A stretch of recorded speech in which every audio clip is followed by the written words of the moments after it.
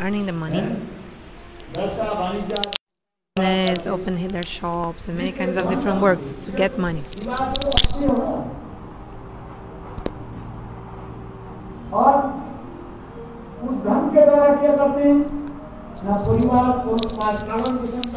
and with this money, they maintain their families. So two activities, earning money and taking care of the family, maintaining the family.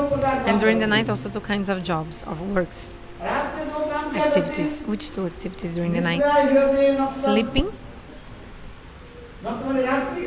So during the night, they spend the night sleeping. Because during the whole day they perform so much work, so they are tired. So during the night, so take rest to remove the exhaustion they they sleep. Or another thing also they do uh, during the night. If you're not feeling sleepy, what will you do during the night? Many kinds of um, entertainments and other.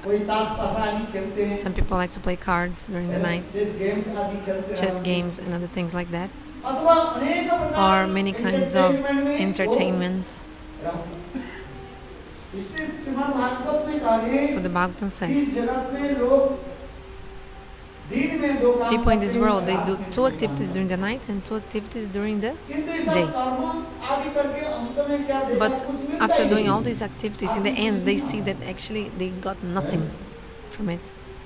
So in the, in the end, by knowledge and renunciation, the start do Bhagavad Bhajan to worship God. So Shukadeva Goswami told to Parikit Maharaj the stories of many kings.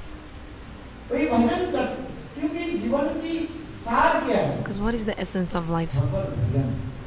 Bhagavad Bhajan.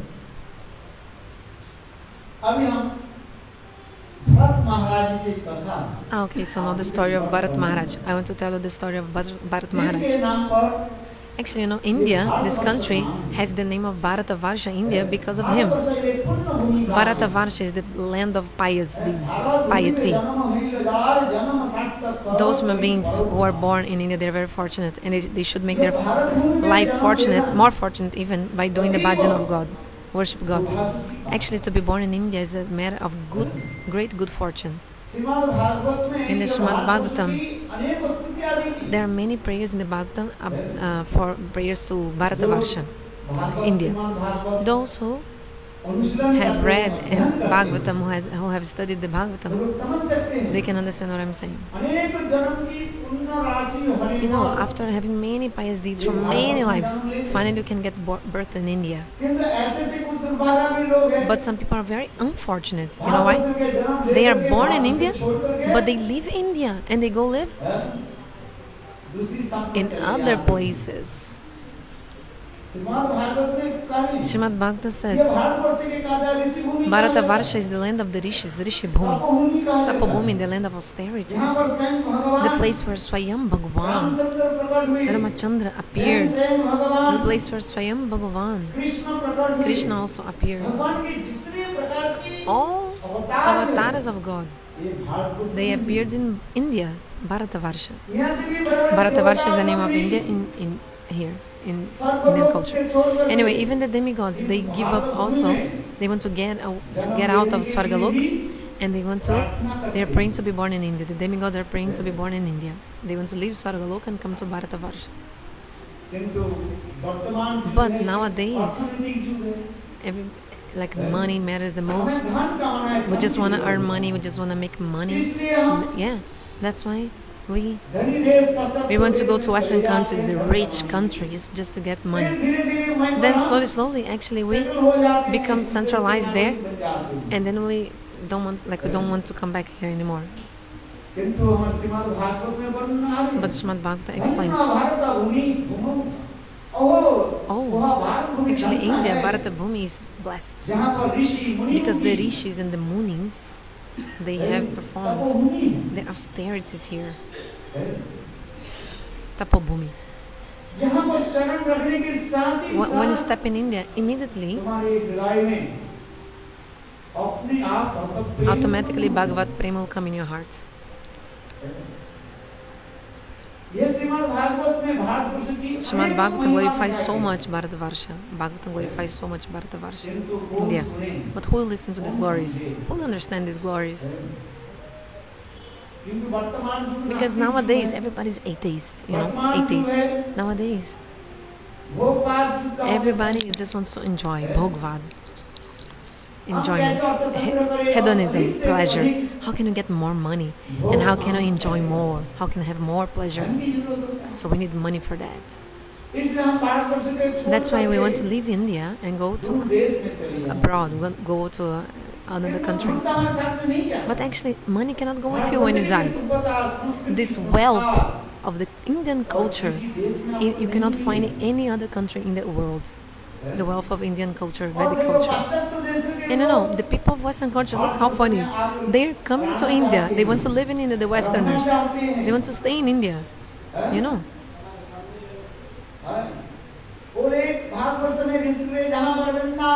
Especially in Vrindavan, in India. Except India, you cannot get uh, Vrindavan any other country in each what's speak of India, Vrindavan is not only in India, actually in each universe, in each universe there is only one Vrindavana, which is in India. So you see these Westerners, they came from England, America, they were born in different countries, but they are crying to come here. We want to go to India, we want to stay in India, we want to stay in Vrindavan, they are crying. They want to live in Vrindavan. Patrani, where the Jamuna river is flowing, Vrindavan is so beautiful.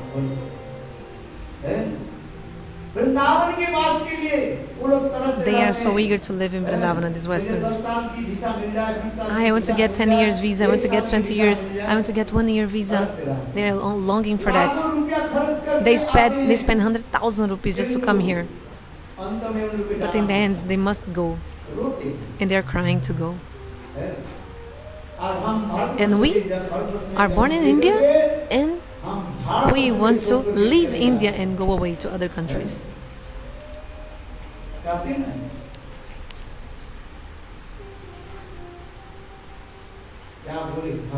What can I say? So this is our misfortune, bad luck. There's one expression in Hindi, and I don't know except pro proper in pro proverb in English. It's just like you don't give value to the things in your own house. Like you don't give glories, honor to the things which is easily available in your house, but to other things you give pleasure, uh, give value. Because you can ask these people. They came from Russia, England, Brazil. They, when they have to live in they are crying and they are eager to come back. They are so longing to come back.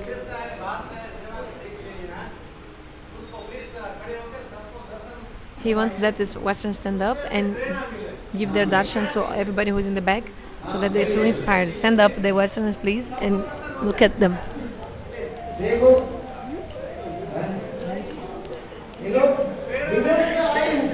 They came from Western countries. They have they get some visa, only one year visa or six months visa.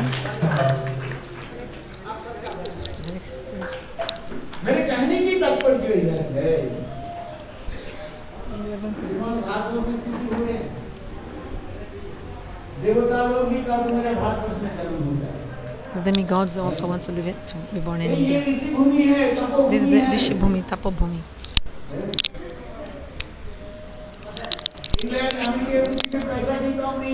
England, America, they, these countries have a lot of money.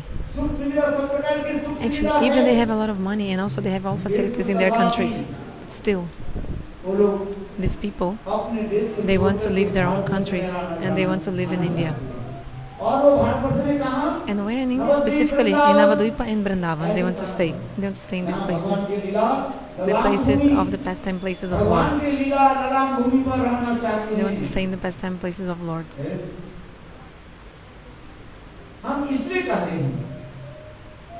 Yes, so I'm saying this. How, how India has this name? Before, the name of India was Ajanaba Barsha. Which name? Ajanabo Barsho was the name of India in the past. But because of Bharata, the son of Rishabdev, because of him, India now has the name of Bharatavarsha. Some people think that Bharatavarsha is because of the son of Shakuntala, but no, it's not right, it's not proper. No, no, no. Shrimad Bhagavatam explains Bharatavarsha is because of Bharat Maharaj, the son of Rishabdeva, not the son of Shakuntala. Rishabdev had 100 sons. How many? 100 sons. He had 100 sons. Rishabdev.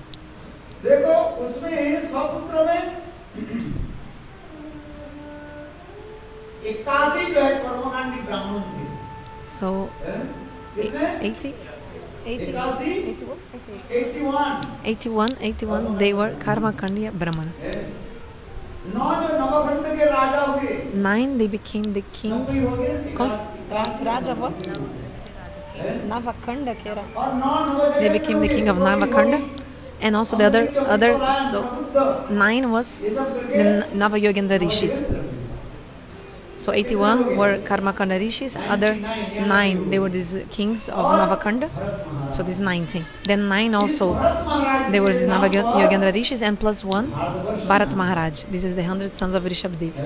So because of this Bharat Maharaj, India has the name Bharatavarsha.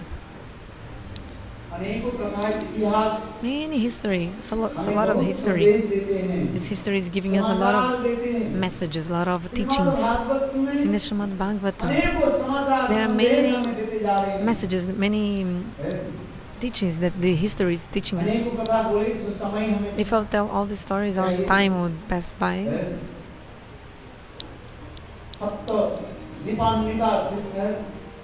This Prithvi has seven islands. Seven islands are here.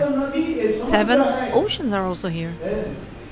There are all ma many descriptions are there.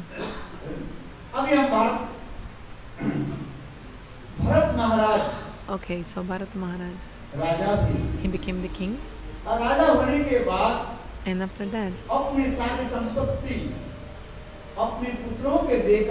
he gave all his wealth to his sons. And when he was youth, he realized that this world is full of suffering. And he gave up everything just like stool, just like you give up your stool. And then he went to the forest. And then he started to do the bhajan. He saw what is the meaning of human life. Bhagavatam again and again is giving us this message.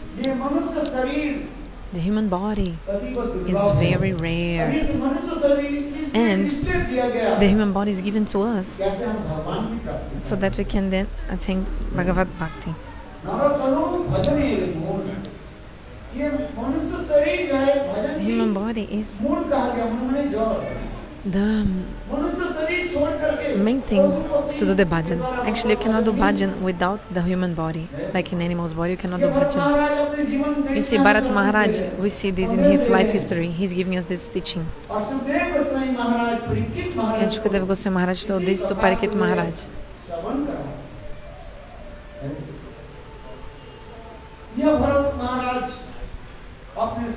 Bharat Maharaj, he had left everything. He had gone to the forest and started started to live in the forest. Near the Gandak river, there was a hill. In that hill, there was a cave. He was living inside doing his bhajan and sadhana. Gandaki, Gandaki river. Ah, Gandaki in Portuguese. Eh? Gandaki, Gandaki. The river Gandaki, Gandaki is where the Shalagram Shila comes from. Very beautiful place very beautiful environment for bhajan, Gandaki, by the banks of river Gandaki. That's the place also of Pulastarishi, you know, that Pulastarishi used to stay there. Very beautiful environment. Lions roaring, lions roar, roaring. Hearing the sound of the roar, roar, roar, eh, roar of the lion, the female deer became afraid. Then she jumped, trying to save her life. Then immediately the baby deer that was in her womb like came out to give birth to him. And the female deer she jumped in the water of the river but her body was taken by the currents strong currents. And then this lion he had gone somewhere. Nobody, no, he didn't see where he went. Slowly, slowly, this baby deer grew up. and started to live in the ashram of Bharat Maharaj. In the same way, he the baby deer, he was, it was sitting next to the paraphernalia stuff of Bharat Maharaj. Sometimes he used contaminate, he used to contaminate the paraphernalia of Thakurji with his stool and urine, because he's an animal. He doesn't know. The baby deer doesn't know. He doesn't have knowledge where to pass water or anything. But the Bharat Maharaj would chastise him. And then the baby deer would become afraid because Bharat Maharaj was was just him, a human. He would even cry. Baby deer would cry. Then seeing this piteous condition of the baby deer, Bharat Maharaj would feel compassion and again take him on his lap and patting on his back.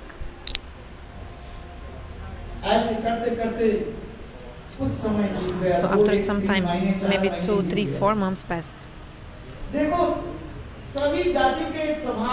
All the species, they have this nature. If you find another member of your own species, you just go with them. So what happened? One day, a bunch of uh, deer, like many deer, uh, plural, a bunch of I don't know, anything, bunch of deer, they came next to the ashram of Bharat Maharaj. That baby deer automatically uh, joined the group of deer, and then he just walked with them and left, went far away. Then it was suddenly uh, sunset, it was nighttime. Bharata Maharaj realized that baby deer was not there. He was searching for him. What is the baby deer? What is he? What is he? He couldn't see him.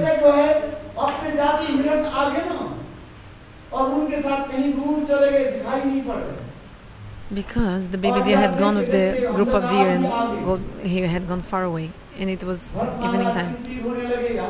Bharat Maharaj was worried. Where is the baby deer? Where is my baby deer? Then Bharat Maharaj went to the up to the top of a hill and he was searching where is the baby deer he was trying to search very far like trying to see and search and thinking about the baby deer what is he what is he because when you love someone have some affection you get attached right so you start to think about that person for a long time he was searching but couldn't find him. Slowly, slowly became uh, nighttime. Bharat Maharaj thought, where is he? Where did he go? So he, he went even up, more up in the hill, like higher in the hill. But you know, sometimes up in the hill there is some like some lime, like not lime, I'd say like some some musk, musk. No, how do you call? It? Mushroom, Mujbu. You know, like this. Come again? Lice. I don't know. Proper word in English. Like this, some green slippery thing on the stone. You know, like some kind of uh, grass, very slippery on the stone. So, because he was searching the big deer, accidentally his foot slipped on this uh, stone, slippery stone, and then he fell from the top of the hill and then he died.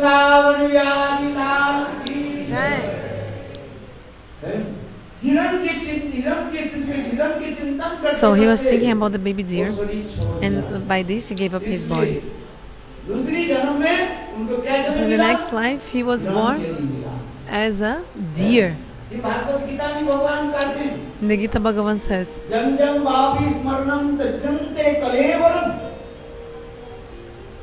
Whatever you think in the time of the death, whatever you think in the time of the death, when you give up your body, next life, you'll get that same body.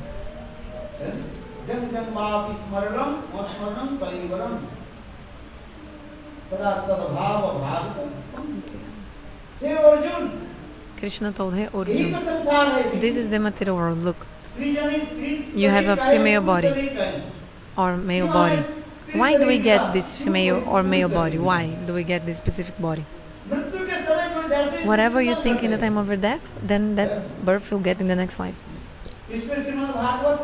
That's why in the Srimad Bhagavatam also mentions the story of Puranjan Puranjani. Puranjan, he was a man. Puranjani, so what happened? Puranjan, he was thinking about a woman so much. Then he left his body. In the next life, this Puranjan, he got the body of a woman.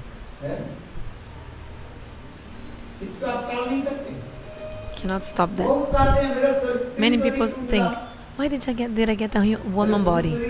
I, I would like I would prefer to have a male body. Some people say. Some people say, but I would prefer to have a female body. Some people say. But that's why you have a female or male body. In the Gita, Bhagavan is telling this. Look.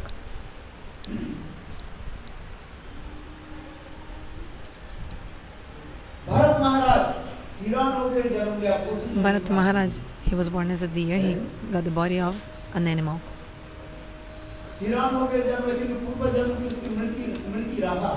But he was still remembering his previous life.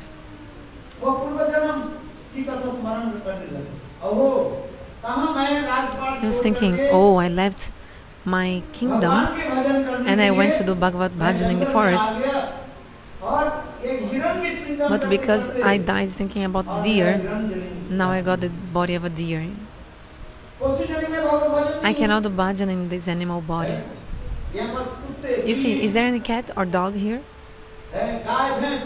And in buffalo or cow here to hear, listen to Harikatha or to chant the holy names. Bhajan, you tell me. That's why we have human body. That's why we came for Sadhu Sangha. But that deer, he was still remembering his previous life. So because of that, he used to go where the saints were staying and he used to stand up there in the Harikatha, but he could not understand the language of the Harikatha, of the, the saints. He could not understand, but he would stay there. How the animals will understand the language of hum human beings? Not possible. But still, the deer, he used to go near the saints and, and only crying and crying and crying and regretting. Fail me, fail me, what a misfortune, bad luck. By great good fortune, you got this human body. इसे तुलसीदास जी का Tulsidas is saying in this verse. है। ये मानव जड़ी के अत्यंत दुर्लभ है मानव बनना माने है। इसलिए वो This हिरण human body is कहते very हैं, rare, जहाँ whether पर you believe it or Sant not. है, बस उस आश्रम में दरवाजा पर खड़े हो जाते थे so the deer used to stay near the ashram of the saints and crying and crying. Why? Because he could not understand the language of the saints, but he could only cry and cry. So the deer was crying when he Bharat Maharaj in the body of deer, he was crying incessantly, remembering his previous life and his, and he was like regretting, like and an like I'd say, like uh, he was condemning himself. Maybe you can see like this, condemning himself, like he was. Thinking, oh, why did I do this? And repenting his deeds. Then one day this deer he gave up his body in the bank of a river.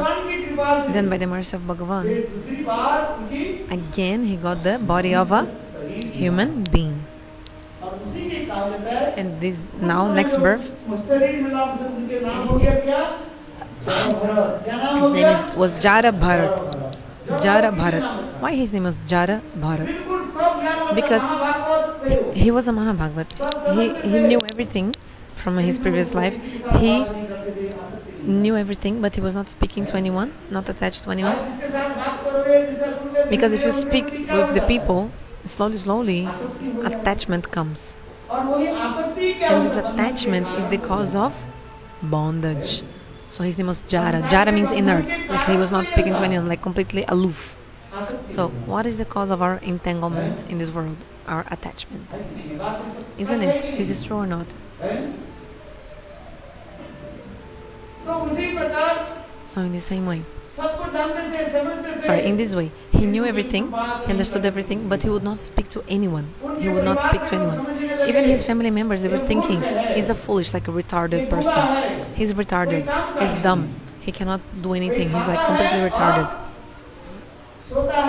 He is only uh, eating, sleeping, and stooling. So his family would not give attention to him, would completely like uh, on, wouldn't honor him or respect him. Actually, the family they will only give honor to a person who is making money. You can see you have you have two kids, two children. One of your sons is working a lot and getting a lot of money. They'll say, "Oh, I want this my son to stay with me." But if you have another son who does not work or also doesn't hear properly, like some deaf, you can say, "Maharaj, take take take my son and keep in the temple. Take this son." The, the deaf son because he does cannot work but this, this son who is can can work and get money oh i want this son to stay with me Let's make a very, get a nice wife for him, very nice uh, daughter-in-law. I want to. So you start to imagine he'll get married and have a family, and but if that another son does not work, is deaf, cannot hear, you can you say Maharaj, take this boy, my my son, to the temple. He can stay with you. This is true or not? So we'll honor or respect to whom? Those who make money. This is true. This is the rule of this world. If you have money, everybody will ask you, How are you? How are you? How are you? How are you? सब पूछेंगे आप Everybody will ask you. आज यदि आपके But pass if एक you don't खाना even have one cent, कौड़ी नहीं हो, not even one cent, वही व्यक्ति the कहेंगे same person will ask Who are you, you? आप Who कौन? are you? हैं? Who are you?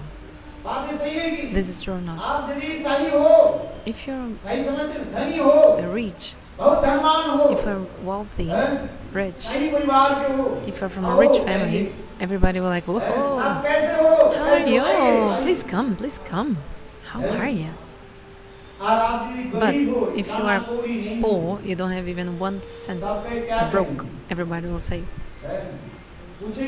"I'll not even ask you anything. They will not ask you anything." Poor people don't have value, and nobody wants to respect the poor. But if you have a lot of money, everybody will respect you. I'll tell you one small story now.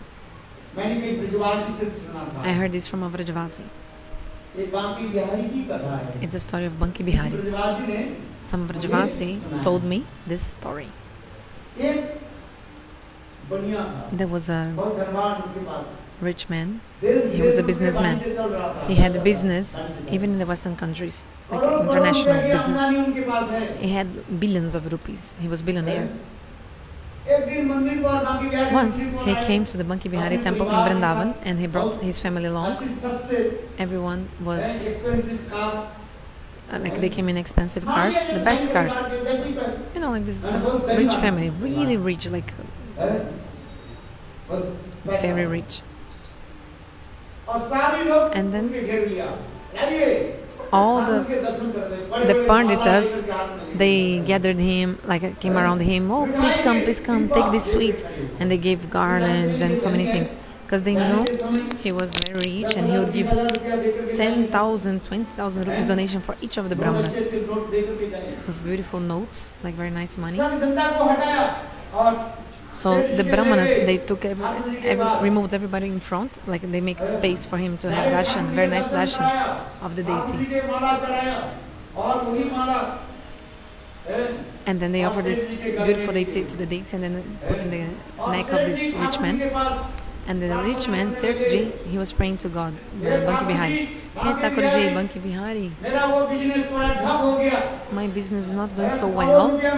I just lost crore rupees. 10 million rupees. Please give me 10 million rupees.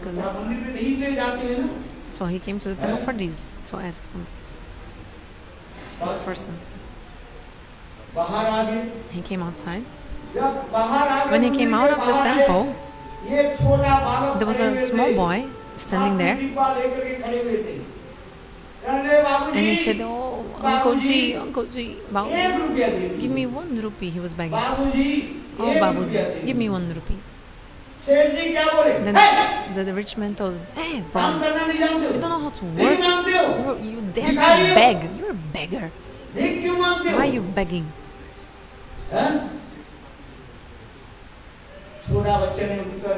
The boy told, "Babuji." Oh, Uncle Ji. I am just a small beggar. I am a small beggar. I'm asking you for one rupee only. But you are the big beggar. What, hearing this, the rich man, the surgeon said, his eyes grown, like he was so angry. He became, you are calling me a beggar, a beggar. You are, you dare to beg something from me, and you are telling, you dare to call me a beggar as well. But the, the small boy was very bright, smart, he told. Oh, Sergey, rich man, two minutes ago, you were in front of Banki Bihari. What did you ask from him? I only ask you for one rupee. I'm a small beggar. But how much money did you ask for the deity? Millions of rupees, billions of rupees. So you're the big beggar or not? Then the Sergey faced down, like he looked down, and then that boy completely disappeared. Hey, Jai! This is true. This is true. Samra Javasi told me this story. He was telling me. So what I want to say is that everybody honors or value to money. Rich people they have value and poor people no value. But this is not the conception in spiritual life. For God, everyone is same, same level in front of God all are same. In the temple, everyone is um, eligible for getting respect. Poor, rich people. There's no conception of uh, a, even caste, caste, caste. Women, men, everybody has the same eligibility in front of God. So I, I want to say the story of Bharat Maharaj. Bharat Maharaj, he became Jada Bharat and he was completely like um, dumb, like he was not speaking to anyone. Looked like he was retarded. Because he was thinking, if I, I'll be uh, attached to anyone, again, I will lose my another life. I'll waste my life. I already waste three lives. I wasted three lives. Fire me, fire me. So that's why he was completely aloof, just like a um, deaf person. Uh, I said dumb, like not speaking to anyone. People even thought that he could not uh, speak or understand anything. Bhakta explains, Shastra explains. His family members would not give proper food to him. They would give just a little bit food for him just like we throw food for cats and dogs, some piece of chapati and with chickpeas you throw to the dogs and animals. They will not respect him at all because he will not do any work. He's only eating and stealing, they would think. He, he, he cannot do anything. But actually, he was a Mahabhagavat. Bharat Maharaj, who, who would understand that he was a Mahabhagavat? So their family members thought, okay, let's do one thing. Let's put him to work in the fields. You know, the fields, the crops are there. So he'll be like there. Let's put him sitting there on the fields. At least the animals, the birds, they will see him there and will not eat the food of the crops. So he was staying there on the fields. They put him sitting on a big place, like a higher position in the fields, just to scare the birds. But actually, the birds were coming, and the birds were eating the crops, and he would not even mind. He would not care because he was uh, thinking in God, thinking about God. If he would move the hand, the birds would fly off, fly away. But he was not even doing that. If you would like at least clap, then the bird would also fly away. But, but Maharaj was not interested even. Actually, why? Because he was absorbed thinking about God. That's why he did not scare the birds away. So, okay, so some time passed. And then the king of that country, he was sitting on the palanquin and he was going to meet Kapila Deva. Kapil Deva to hear Bhagavad kata from Kapil Dev to get more knowledge about Atma again. Atma. His name was Rahugan. What is his name? Rahugan. So he was sitting in the palanquin and he was walking. I mean, walking in the palanquin. Have you seen a palanquin in your life? Is there palanquin here? People carry in the two people in front, two people in the back carrying a person on like a seat upper seats. Nowadays they call that uh, they have one kind of car, a car, a car when the bride and bridegroom get they have they get married. In one second, they go very quickly, even 200 kilometers. Like a limousine for brides and bridegrooms. In some places also they sit on the back of the horses, they ride the horses like in the ancient times, they used to ride the bridegroom and in the time of wedding, they used to be carried in palanquins, but nowadays like limousines and maybe sometimes even horses, but at the time were palanquins. So the Rahugan king, he was coming to the saints to hear Harikatha, and he was being carried in a palanquin. Two carriers in front, two carriers in the back. One of the front carriers of the palanquin fell sick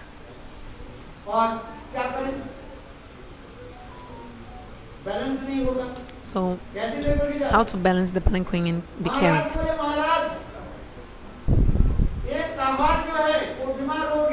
Maharaj, one of the carriers are sick. Is sick. How will you be carried? Then Maharaj Rahugana told, Look, I'm the king you find here any person in this land, any person who uh, doesn't matter, rich, poor, any man, just catch anyone and tell him to carry my palanquin. Being ordered by the king immediately, the servants of the king they searched and they found Bharat Maharaj sitting on the fields, sitting on a higher seeds in the fields. Hey, come, you come. But he will not speak to anyone, remember?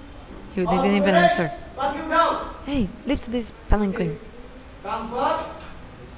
So, okay, he put uh, the palanquin on his shoulder. But Bharat Maharaj, he was a Mahabhagavat. What the Mahabhagavatas, they don't see anything gross. Gross, they don't see gross things. Mahabhagavat, they only see God everywhere. सर्वभूतेषु जपस्ते भगवत भाव आत्मन हैं? समस्त जीवों में भगवान की दर्शन है, परमात्मा They का see दर्शन हो गया। Paramatma in all the jivas. इस समय इतने समय भट्ट महाराज जब So Bharat Maharaj, पालकी लेकर चले, he was carrying the देखा palanquin जमीन पर and he saw that on the on the floor there were small small ants were there walking. Ants Bharat Maharaj on the floor. विचार करने लगे, Bharat Maharaj इनको thought, कैसे मैं मारूं? how will I kill these ants? God is also in their hearts. Atma, they have soul, they have super soul inside also. How can I kill them? So he was trying to move here and there, like to uh, avoid the ants. But also because of this, the palanquin was also shaking. And the palanquin was shaking, and Maharajah Rahugana also shaking inside. So in this way, he started to feel pain in the waist and, and the place because of the shaking of the palanquin. King told, "Hey, carrier, why you are shaking so much this palanquin? Take it properly." Another palanquin, another carrier told, "Maharaj, it's not our fault. This new carrier, he came in." He doesn't know how to take properly the eh? palanquin, that's why he's moving so much. He's moving so much the palanquin. Because he's also like um, not going straight and so. The, the eh? king told hey, new career. You don't know. Who am I? I am the king. Walk properly, otherwise, I will punish you.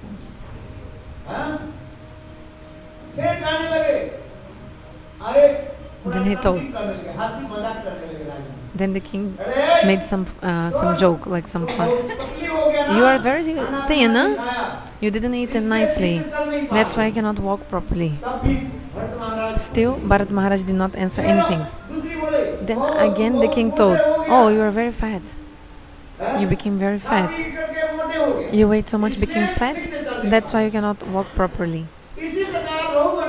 So that Ahogana king was tried many ways to speak to him somehow, but he would not answer.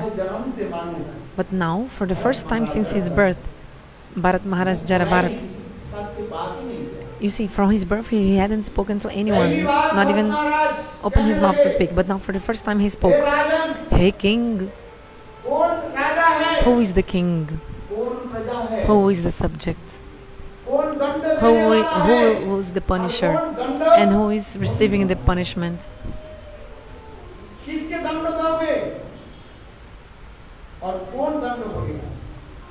Um, who will suffer the punishment? Who is fat? Who is thin? The body is fat or thin? The soul is fat or thin?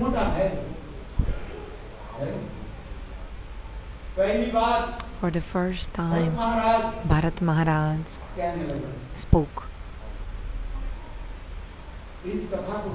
Hearing this, the king Rahugan told all the carriers, um, put the stop, stop, put the palanquin down. So they put the palanquin down, and then Rahul King came out of the palanquin. And he asked this person, Who are you? Tell me who you are. Exactly what you're speaking about. I was exactly going to hear about this. I want to know about this, the body. What is the body? What is the soul?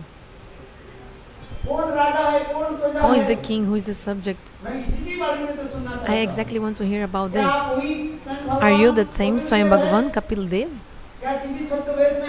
That you came in disguise to me? Are you Bhagavan? Who are you? Then the Rahugan, king, he was again and again doing pranam to, to this person who was Jadabharat and praying to him. You are a great personality, Mahabhagavata, great devotee. And I, yes, I ordered you to carry my palanquin. The king Rahugana started to pray to him. You please tell me. Hearing this,